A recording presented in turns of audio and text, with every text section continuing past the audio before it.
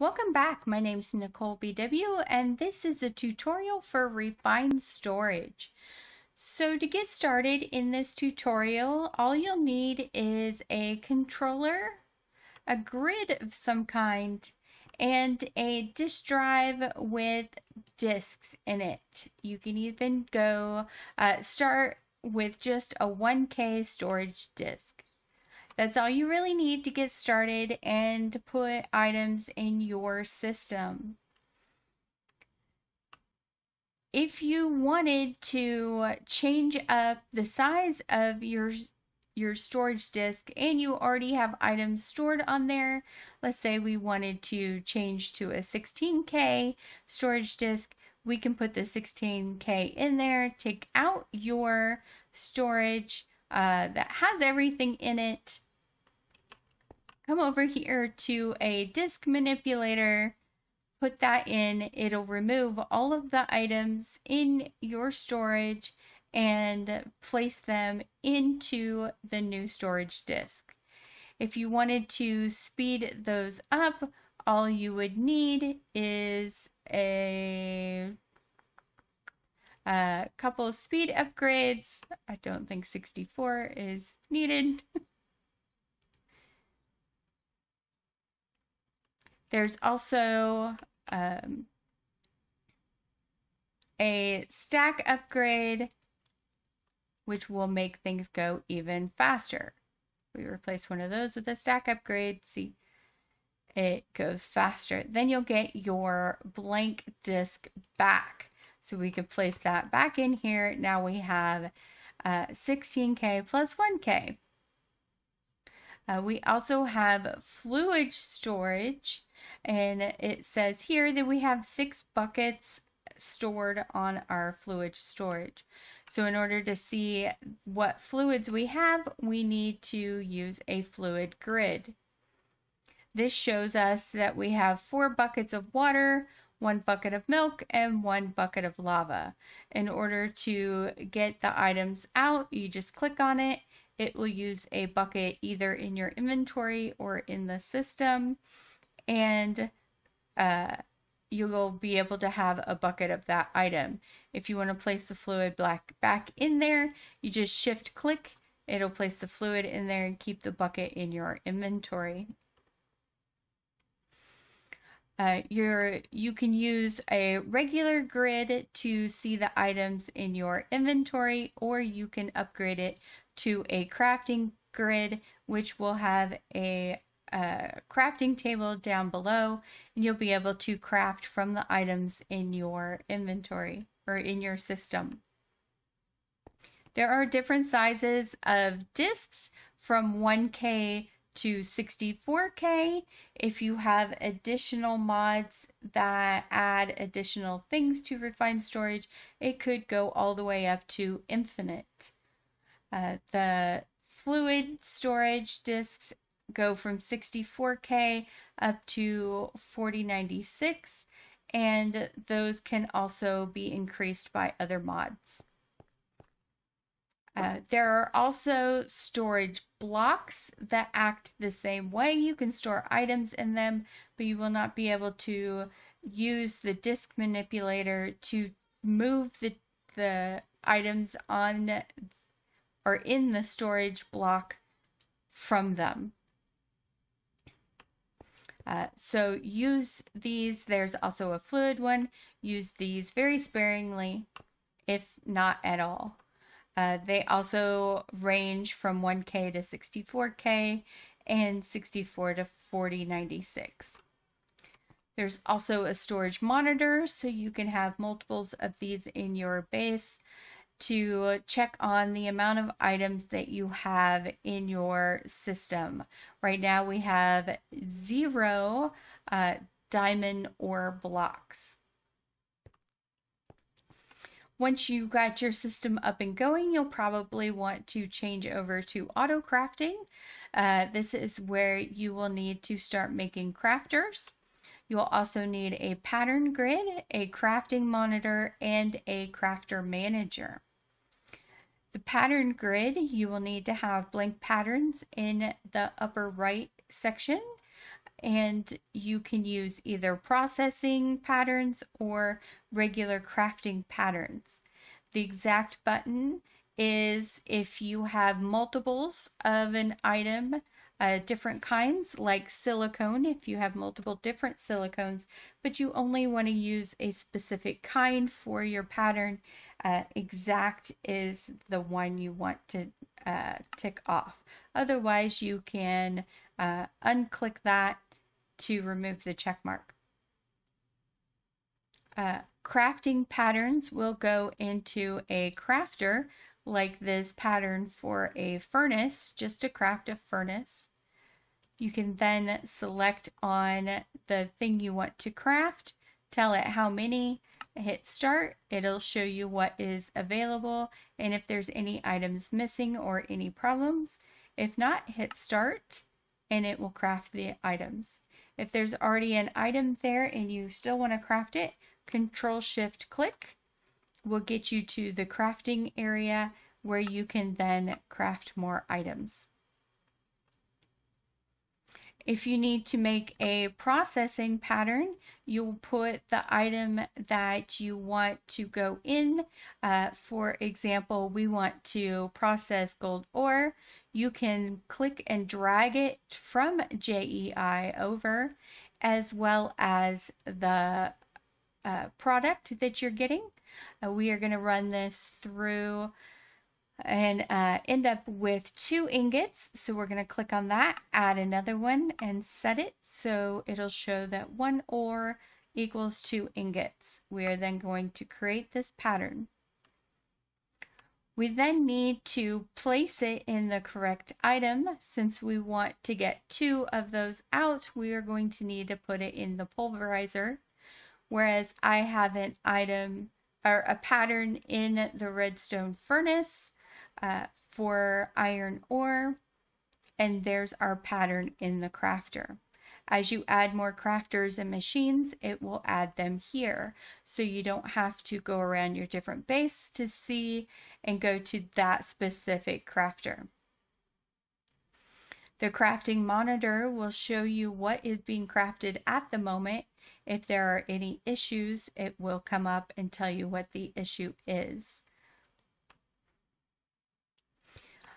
In addition, we have import, export, and storage buses. The import bus is uh, nice for being able to add ores into the system. The export bus is if you have items in your system and you want to transfer them we can see on the front here that our smooth stone is being pulled out of the system and into the storage drawer. The storage bus is if you would like a certain item to be in the in separate external storage, but also wants to be recognized uh, through the system. You'll want to go ahead and make sure this is whitelisted. Put your item in the slot. You can have multiples. So then when we put our items into the system, they show in our system, but they're in the chest. And as you can see, the smooth stone is no longer being shown in our system because it's just an exporter and not a storage bus. If we wanted that to show, we would need to change that over to a storage bus. There are also constructors and deconstructors. This would be good if you have blocks that you would like to have broken, but not necessarily have time to do it yourself. For instance, the diamond ore that we just put in there is being placed and broken almost simultaneously. You can't hardly tell.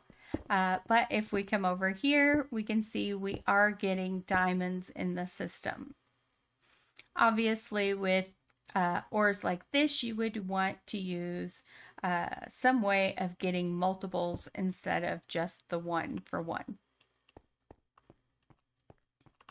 There are also item and fluid interfaces. Uh, you can use these to set how many items you want available uh, in this block. So for instance, we have cobblestone here. We can change the number of uh, how many we want available to us, and we can pull these out of the bottom uh, bar here. You can have different ones set. We can change this to uh, 64. We can change it uh, back to 1. So there's only one. You can have multiples of different things. This would be good next to a brewing stand if you didn't want to automate it, but wanted to have the items available so you didn't have to go back to your grid. The fluid interface uh, you can use with a storage bus to have uh, so many buckets available and being stored in the interface. Uh, there is a security manager if you're playing on a multiplayer server. Uh, if you're playing alone by yourself, it's not necessary to have one, uh, but you'll want to have a security card. Right click it to set it to yourself, and then you'll want to place it in the middle and select all of the things that you want that person to be allowed to do in the system.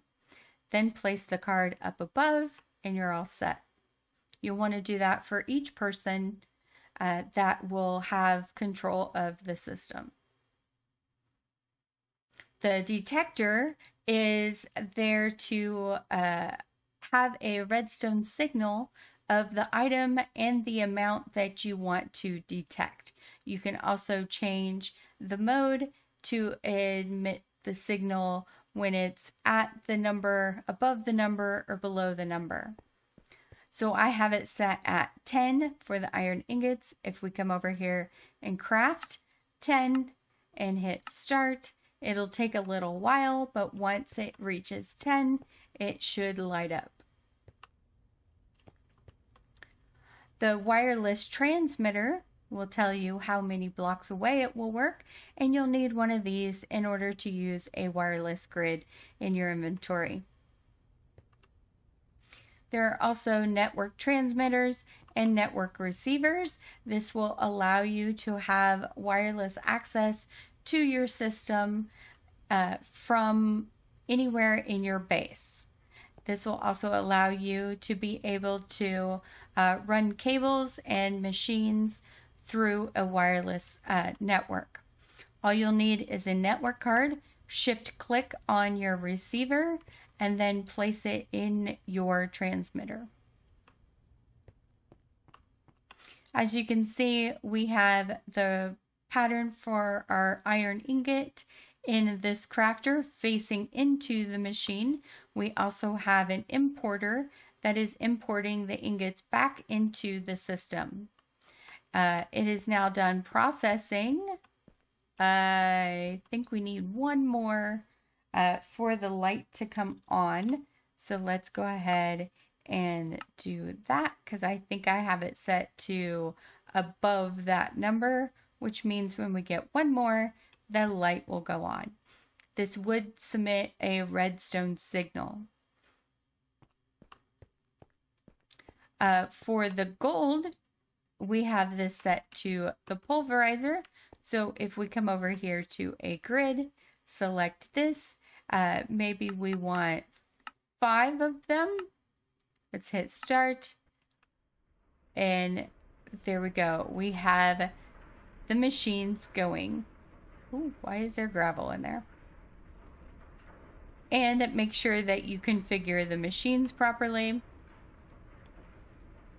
We also have an import bus from the furnace going back into the system. And as you can see, this is not wired up. Uh, I can even show you down below. There are no wires underneath.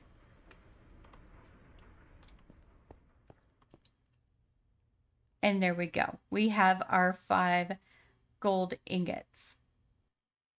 Uh, for an example set up, If we fly over here, I have a little setup already prepared for us and we can look and see here we have uh, ex-nihilo pieces that have been sifted and we have these.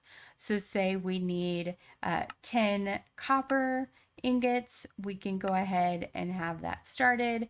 Say we need uh, 64 iron, we're going to go ahead and start that. Say we want um, 30 silver and uh, what else do we have? Nickel. We'll do 20 of those. I have I have the patterns for the ore chunk in two separate crafters and then each one has a furnace with a crafter behind it for to make the ingots. So as we see, um, uh, that's our pattern grid. Our crafting manager, we can see what patterns we have and where they're located. Our crafting monitor can show us what is being processed and how many are still scheduled. We can also go ahead and cancel or cancel all of them. And as we look in here, you can see that we are getting our ingots even though they look slightly different than the pictures, that's fine. Uh, this is uh, working just the way it's supposed to. I hope you enjoyed this tutorial about refined storage. There are other mods that help expand this one and that are a lot of fun and I hope you check those out. Let me know if you have any comments down below and I will see you guys next time. Bye bye.